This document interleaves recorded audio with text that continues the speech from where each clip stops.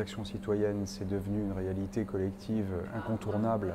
Et on voit très bien toute la transformation de société, euh, toutes les valeurs aussi qui se jouent euh, dans ces initiatives. CFI, ce n'est pas une ONG, c'est un opérateur public qui travaille pour le compte du ministère de l'Europe et des Affaires étrangères et qui donc doit porter et réfléchir ou refléter les orientations plus générales du gouvernement de la France à l'étranger, dans la politique étrangère. Et vous savez très bien que dans les grands axes structurants de la politique étrangère de la France, il y a le pluralisme démocratique, la transparence, euh, le contrôle des politiques publiques, la redevabilité. Ça fait vraiment partie de ce que j'appellerais des thèmes vivants et porteurs de l'action extérieure.